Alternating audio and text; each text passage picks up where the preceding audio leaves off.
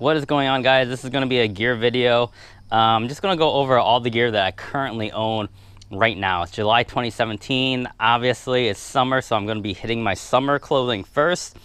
A lot of times you've seen videos of me in other gear and I just don't end up keeping it. And I really don't review gear that often, to be completely honest. If I don't like the gear, I just get rid of it. I sell it on eBay, Craigslist it, put it on like Facebook ads, whatever. I, I don't keep the gear that I don't like. But this is the stuff that I currently have right now that I plan on keeping. Um, I've thinned out quite a bit, but this is the SS2500. This is my signature helmet. You guys have seen this many, many times before. Every time you pop up a video, you see this. Um, SS2500 from Speed and Strength. They don't actually make this urge overkill graphic any longer so it's kind of like limited. You can't really get this lid anymore but they still do make the 2500 they just sell it in different solid colors or different graphics or whatever but that's what this is. Um, I've been rocking it. This is my second season with it. I still like it. It's super duper light. Uh, it's a great summer helmet. You get lots of breathability. It's also very very loud it's not for winter. You're going to get a lot of air in there. It's not going to keep your face cool at all. And if you're cruising on the highway, this peak does pull up a bit on your head, especially when you're doing head checks. Uh, but summer riding, uh, relaxing type of just like street stuff like I do, this is a great, great summer helmet. I'm going to actually have to upgrade my helmet this winter. Probably going to be looking at a bell unit. I'll share with you guys once I actually do it. Um, these are the gloves just to get them out of the way as I'm breaking these things down. These are Alpinestars, SMX2s, mesh and leather gloves. You guys can see there's like leather reinforced in the palm area where you really need it. Um, on the fingers as well. This is a carbon fiber knuckle and the rest of it is mesh. I mean, I as a short helmet, or a short glove, these are great for summer. I cannot wear leather in the summer on my hands. I'm sorry guys, I'm just like dying wearing leather and full gauntlets. I just can't do it. Um, these work very, very well. And they're actually not very expensive. They're like, I don't know, less than 50 bucks for the pair. And they've, they've held up decently, decently well. So those are gloves that I rock in the summer. Now heading into my main bitch. This is my Alpinestars Air Viper mesh jacket. Um, this guy is awesome. I really, really like it versus the other Alpinestar one that I had before when I crashed out on it. It's your typical mesh textile type jacket. Good for summer. Um, I get lots of breathability. It actually doesn't breathe as well as the actual old one did, but you get a little bit more production because there's a little bit more textile stuff going on. So there's CE armor here, in the elbows that you get and in both shoulders. But what I really like about this jacket is, um, and this is an upgrade, you do this yourself, but it has pockets for you to put CE armor in the chest, and I got that right here on both chest pieces. And then in the back, I got my back protector in there as well. So I'm like completely covered with this jacket, like 360 degrees, guys. Um, it feels really solid to me. It fits well for me. It's like a sport cut fit. So if you're a one of those bigger, bulkier guys, you may want to go a size larger if you're rocking Alpinestar stuff. If you're a thinner guy and you like like Euro cut stuff that's really like form fitting, this is what is working for me. Um, it's a fairly basic jacket though. I mean, there's like vents here on the sleeves. Cuff opens up down here.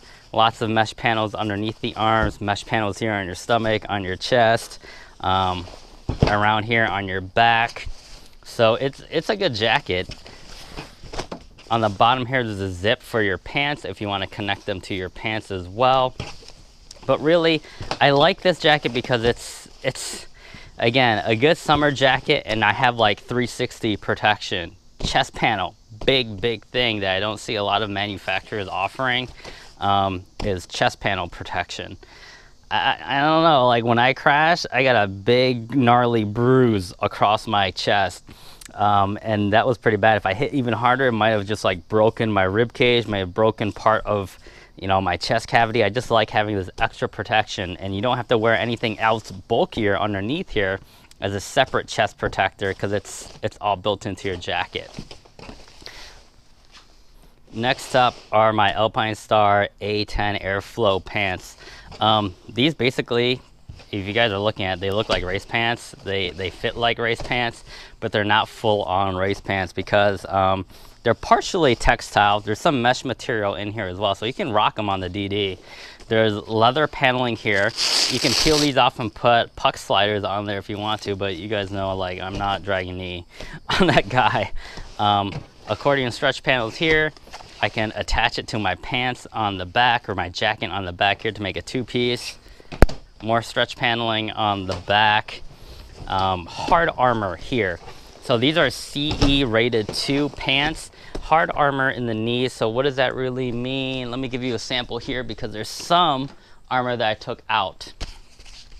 So there's a knee armor in here, CE armor with a hard plastic over it. And then the shins, it comes with these. This is what I'm talking about, guys. Plastic armor on the front and then CE armor on the inside. So that's what I've been able to tell as far as looking at gear. What gets you from CE level 1 to CE level 2 is this added like plastic protection.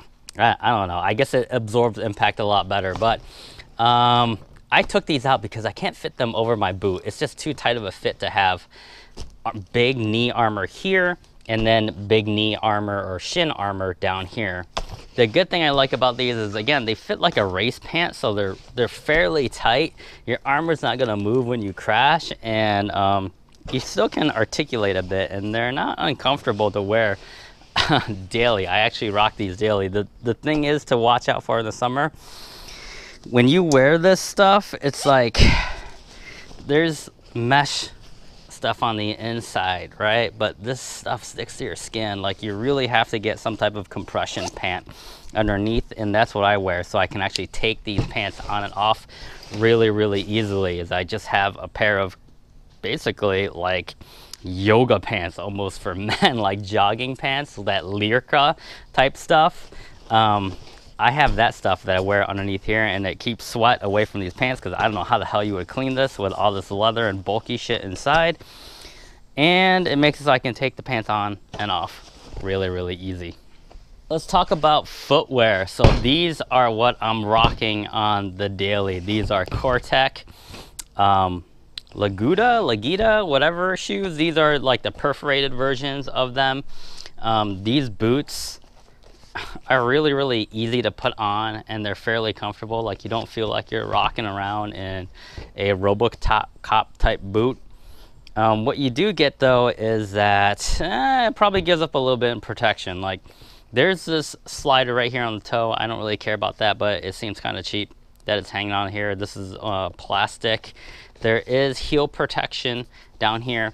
The heel or the foot part of it is fairly fairly thin. Like I can still feel the controls very well, which is maybe good for some people, but I, if you got a big impact under here, I don't know how well that would hold up. But um, the boot's gonna stay on. It's gonna protect your toes, it's gonna protect the heel your foot.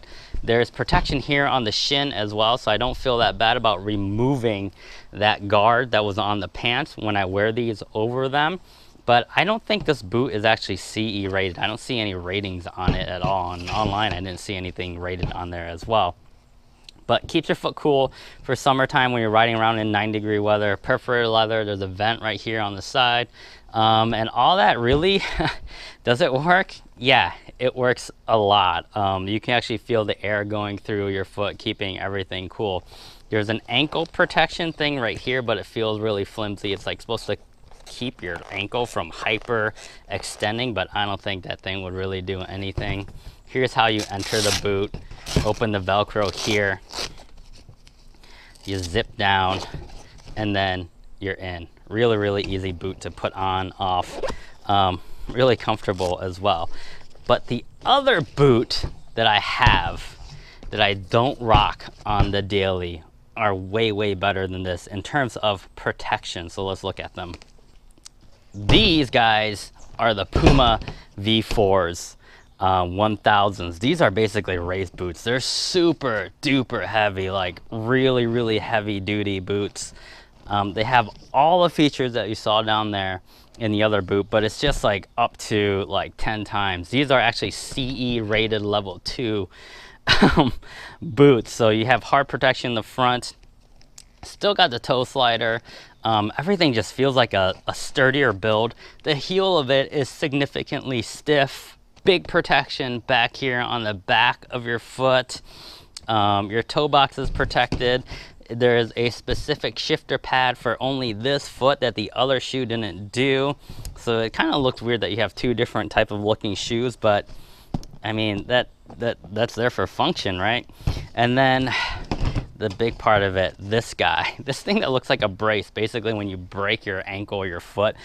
Um, you see a lot of stuff of this stuff in medical world. It's it's called the ghost doctor. So it really does limit your movement of your ankles. Like you have a bit here, there, and then limit, you, you basically cannot twist it this way, like on this axis, only forward and back, and it's limited here. You can see here, it's like gonna stop your foot from going all the way back or all the way forward but there's no other movement here. So what that really means is you feel super confident. You got like a Robocop freaking leg on, but not that comfortable, um, really heavy. This cinching system for how you actually put your foot in here is completely different. This this sock right here has has like padding inside of here. It's almost like CE armor that's built into this sock. You slip your foot into here and it's really, really shallow. It's super tight. So you have to force your foot in there, force it back out because it's like grabbing your foot. It does not want to let it go, which is good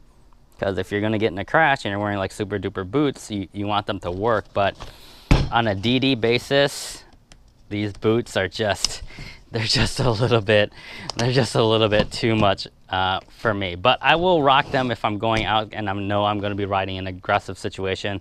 And I'll probably wear them in the winter. They're not perforated, so they will be good like winter boots to keep all that air out there. The toe and profile of everything like this is really slim. Let me go ahead and just put them side by side. You can definitely see this boot is more like recreational, whatever. This boot is freaking like you're going to war in this boot. You're, you're gonna, I don't know, you may be going to MotoGP in this boot. Like that's what this boot is for. This, eh, good enough for DD. You get some more protection than a normal boot, which is the other one that I have. And you guys have seen me talk about these guys before. I've crashed in these guys. These are eBay generic boots. These are like speed biker boots. They're like $50 short cuff boots that you can wear when you're just going a couple miles down the street. Although they say that when you're gonna crash, it's gonna be a couple miles down the street, right? Um, but when I actually crashed in these guys going 60, they stayed on my foot. They protected me. The heel's good there's i mean there's there's bumpers on the back to protect this part. There's toe sliders. Your toe box is good. Your foot's not going to fly out of here. It's adjustable. Um, and they don't really get that hot in the summer guys. They're they're they're better than wearing a sneaker if you're going to go out there. And here's where i go ahead and talk about some more casual stuff that i have as well. These gloves are joe rocket. I don't know what they're actually called. I don't remember. I bought them like three years ago. They're full leather gloves um, throughout the construction. There is soft knuckle protection. You may not need hard knuckle protection, but it's kind of cool to have. Um, Velcro here to cinch everything up. Enforced palm area here. They just fit me well. I bought them a long time ago. And again, they're not perforated, so they're really good for me riding in the winter when it's like 40 degrees outside and you know that wind chill when you're going 60, it cuts through everything. So you don't want anything that has holes in them. These are good for that. They're not race gloves. They're more like touring style type of gloves, but I still do keep these. I still do rock these um, every winter and I plan on doing it this winter as well. Last bit of kit that I still have right here, um, and I don't really wear these that often. These are my A-Star Airflow over pants. Um, these pants are basically a mesh like riding pant. Um, the reason that I don't rock these very often, even though they're super comfortable, is that the protection is really, really minimal. Like there's really nothing up here in the hip or anything. There's nothing that reinforces the seat other than this material is like 600 denier. So you're gonna slide on it and it's not gonna wear a hole through it like a jean would.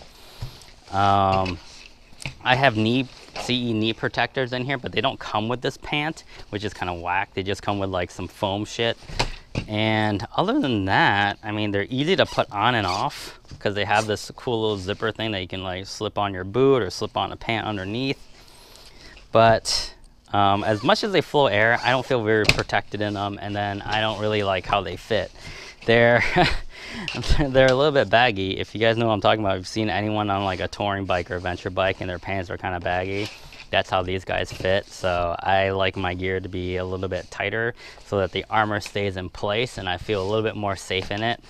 Um, these are really just, again, like to go down the road a couple miles for a bite to eat or just meeting someone up or grabbing something from the store. I don't even commute in these. I commute in those other Alpinestar pants that I showed you guys earlier. So that's it guys, that's what I'm rocking on the daily right now. That's all the gear that I currently own um, that I ride with. Obviously there's holes in there for winter that I'm gonna have to fill. Um, I got a Dainese jacket coming in really, really soon, probably next week. Um, buying in the summer because that's when you get the most deals if you buy during the summer versus a heavier month. So I got that coming. I'm going to be getting a new helmet, probably the Bell Vortex is what I'm thinking of. That thing has a sick graphic and it has a transitional lens on the front. So you don't have to switch this it just goes from clear to dark depending on if it's light or dark outside. So if you're going into work early in the morning, you need that shield. But when you're coming back at like 5 o'clock, 5.30 at night, you know it's dark, so you don't need that smoke shield. So hopefully that will solve things for me. I'm really excited about that. Um, and then a couple other things. I don't know. We'll see, guys. So that's it right now for all the gear that I own. Hopefully you guys enjoy the video. If you have any questions, leave them down in the comments below. But until next time, guys, I'll talk to you later.